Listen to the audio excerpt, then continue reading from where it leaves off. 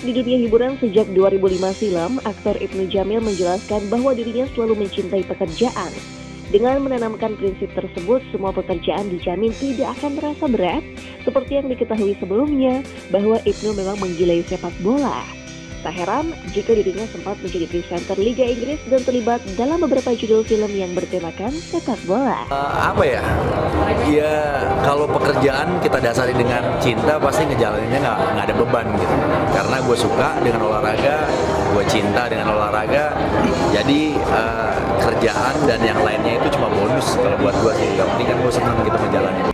Dirinya sendiri masih tidak terlalu mementingkan soal materi. Jika merasa mendapatkan tawaran pekerjaan yang cocok, Ibnu tak akan berpikir dua kali untuk menerimanya.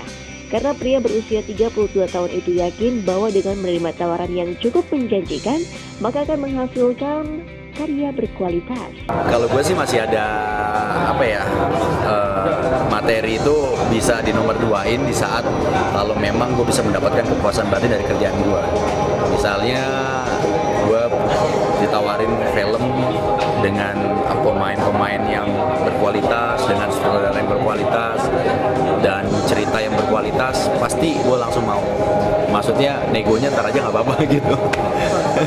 pasti karena gue yakin gue bisa gue bisa mendapatkan karya yang berkualitas juga gitu dengan hasil kerjaan.